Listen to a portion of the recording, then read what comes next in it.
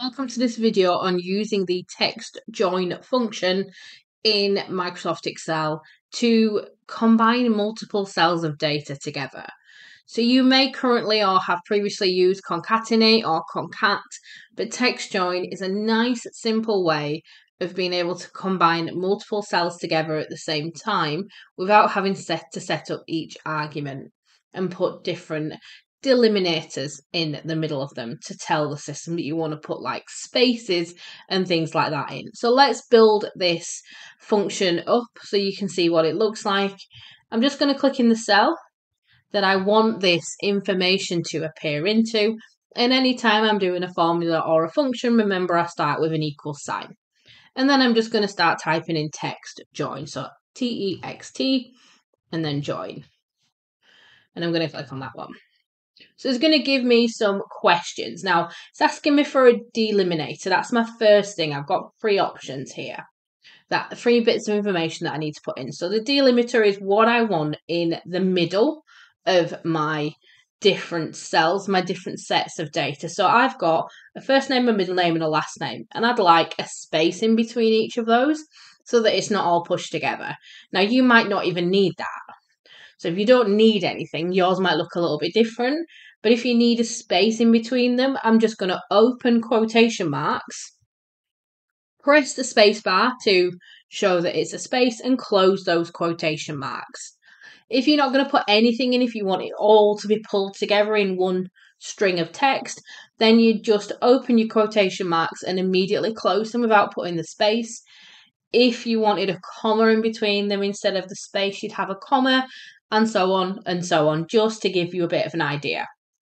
So that's the first part of this function that we're building. Remember when you finished a part and you want to go on to the next one, you're going to use the comma. And now it's asking if I want to ignore empty cells or include empty cells.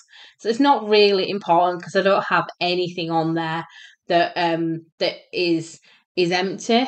So you can, I can ignore them or include them. It really doesn't matter, but you might want to play around with that in case you've got empty cells.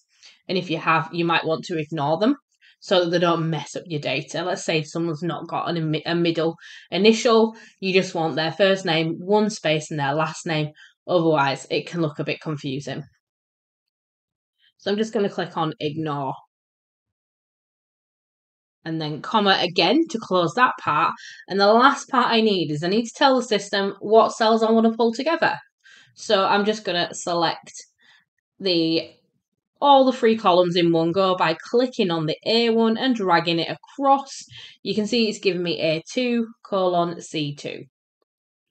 And then I'm going to close my brackets to close the function, the formula, whatever I'm doing down. Remember, you're always going to close your brackets and press enter. And you can see there I've got Alice L. Johnson and I've got spaces in between them because I put that in my function there. And just to hover back over it in the function bar, and I'll zoom in at this point, you can see that function that's being built so you can see exactly what's happened.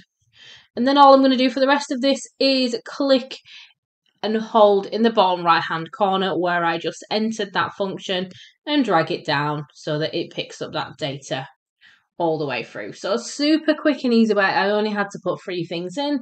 I can select multiple cells at the same time. I don't have to do each of them separately and put a different delimiter in there. Um, so it just saves some saves some time, makes it so much more simple than Concat. I'm going to use text join all the time going forward from now. So definitely have a go at that one. Don't forget to like and subscribe to the channel and let me know what videos you'd like me to record next.